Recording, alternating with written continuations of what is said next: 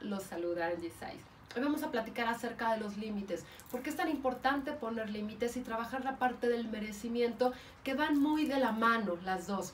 Tenemos que aprender a poner límites en todo, en nuestro trabajo, con nuestra familia, con nuestros amigos, con nuestra pareja, con todo lo que hay alrededor. Porque si nosotros te ponemos límites, las demás personas van pasando y van brincando arriba de nosotros.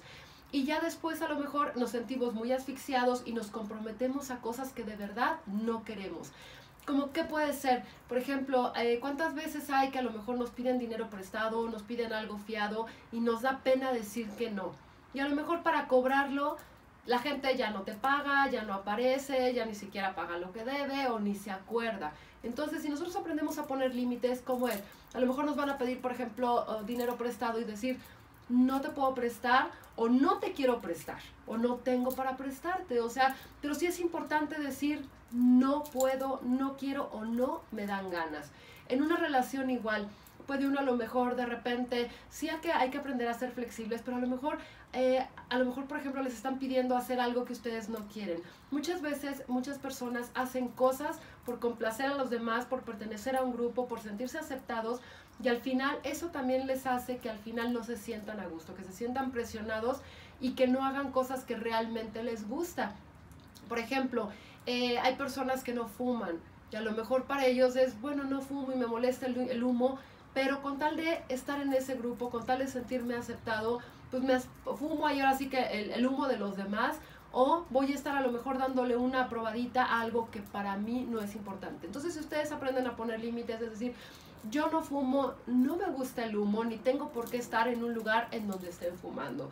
O yo no tengo por qué aguantar a lo mejor eh, lugares o situaciones que estén complicadas cuando no van con mi estilo de vida y cuando en este momento no quiero hacerlo.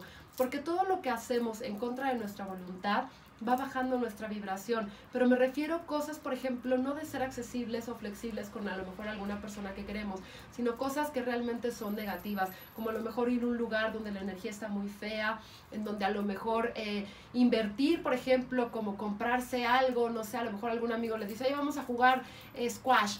Eh, y tanto les dice y a lo mejor a ustedes ni les gusta y ya a lo mejor ya se involucraron en comprar pues no sé, la ropa, la raqueta, todo, y luego dicen, chin, por no aprender a decir no, por no aprender a decir, oye, no me gusta, no me interesa, no me quiero meter en eso, ya uno de repente empieza a hacer cosas que realmente no le corresponden, no les gustan y no les corresponde a lo mejor hacer en este momento porque ni siquiera les gusta no les apasiona.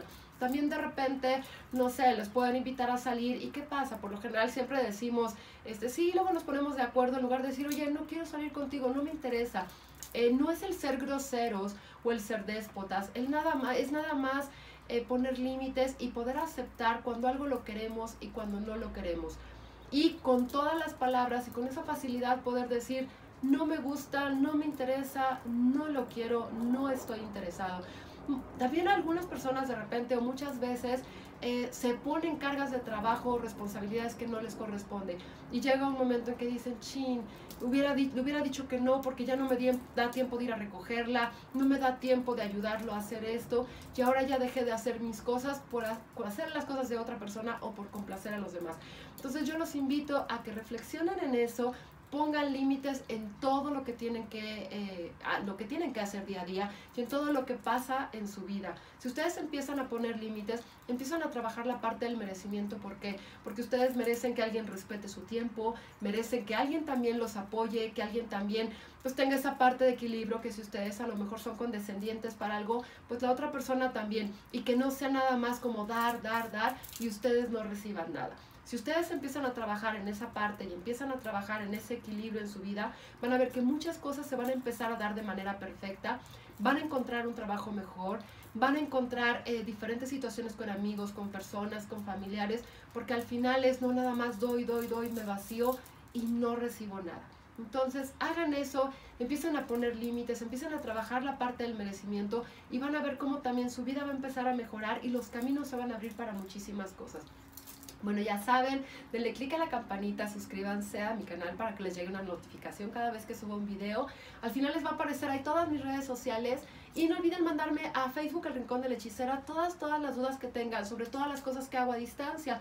Recuerden que las terapias de flores de Bach, esas sí son presenciales, pero las sanaciones, las limpias, los divorcios energéticos, las lecturas de runas, o tarot de vidas pasadas, todo eso también lo hago a distancia. De verdad agradezco cada mensaje que me mandan, de cosas tan lindas que me escriben. Gracias a todos por las sugerencias.